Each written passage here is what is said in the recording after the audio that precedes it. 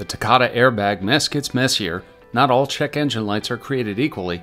James Bond gets a new Aston DB, and speed limits are on the rise out west.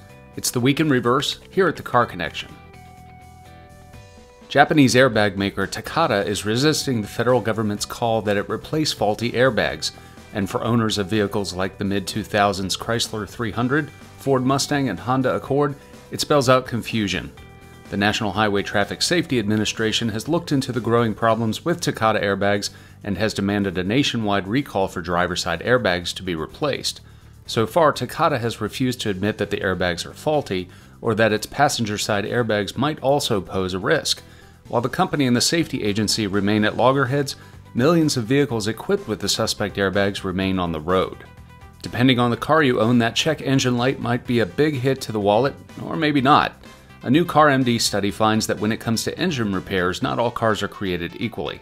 It reports Honda has the lowest number of check engine incidences in its vehicle health index ratings, and Mazda as a brand has the lowest average repair cost at just over $300.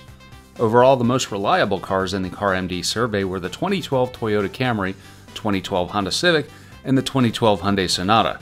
Only Japanese and Korean cars placed in the top 10.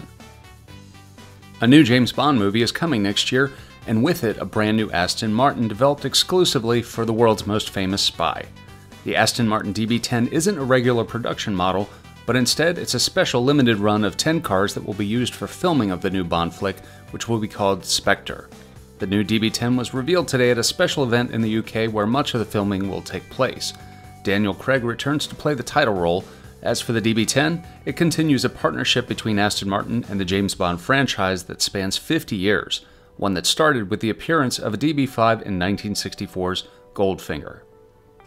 And finally, this week, if you want to drive fast and do it legally, the state of Montana continues to be your friend. A group of states, including Texas, Utah, Idaho, and Wyoming, allow 80 miles an hour on some roads, but now some Montana lawmakers are hoping to raise their limit to 85 miles per hour.